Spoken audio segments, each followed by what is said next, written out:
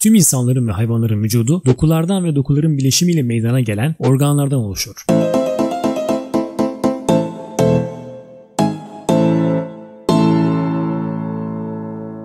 Dokuların, organların ve çeşitli vücut kısımlarının oluşumunda kıvrımlı ve karmaşık yapıda oldukları bilinmektedir. Epitel doku hücreleri ise sıkı, çok düzenli ve aynı zamanda oldukça esnek bir yapıda istiflenerek doku, organ ve vücut kısımlarının oluşumunda önemli rol oynar. Epitel hücrelerin şekillerinin bugüne kadar bu istiflemeyi sağlayabilmeleri için piramidimsi ya da prizma şeklinde olması gerektiği düşünülmekteydi. Son yapılan araştırmalarda bu epitel hücrelerin alt ve üst kısımlarının nasıl farklı olabildiğine odaklanan bilim insanları bu düzenin ancak üstte 6, altta 5 kenarı olan bir tür prizma şeklinde olursa sağlanabileceğini gördü. Yan kenarlardan biri bir noktaya kadar Y şeklinde çatallanarak ilerliyor, sonrasında ise düz çizgi halini alarak diğer alt kenar ile birleşiyordu. Araştırmacılar bu şeklin daha önce geometrik olarak tanımlanmış olup olmadığını öğrenmek için konuyu matematikçilere pasladılar. Araştırma sonucunda şeklin tamamen yeni ve farklı bir şekil olduğu öğrenildi. Bu şekle böceklerin arka kısmı olan skutuma benzerliği ve araştırma